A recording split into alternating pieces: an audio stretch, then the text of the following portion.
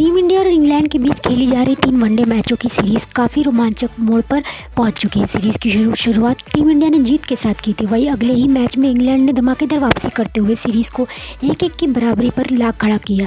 इस सीरीज़ का आखिरी मैच आज खेला जाएगा। टीम इंडिया ने मैनचेस्टर के ओल्ड ट्रैफ्ट मैदान पर आखिरी मैच दो हज़ार उन्नीस वर्ल्ड कप के दौरान खेला था। यह मैच इस वर्ल्ड कप का सेमीफाइनल मुकाबला था, जहाँ टीम इंडिया को हार का सामना करना पड़ा था। यह वही मैदान है जहाँ एम धोनी ने अपना आखिरी इंटरनेशनल मैच खेला था। एम एस धोनी जब मैदान पर खेल रहे थे तो टीम की उम्मीदें भी चिंता थी, लेकिन धोनी रन आउट हो गए थे और अंत में टीम को 18 रनों से हार का सामना करना पड़ा था। लगभग तीन साल बाद टीम इंडिया अब इस मैदान पर खेलने उतरेगी।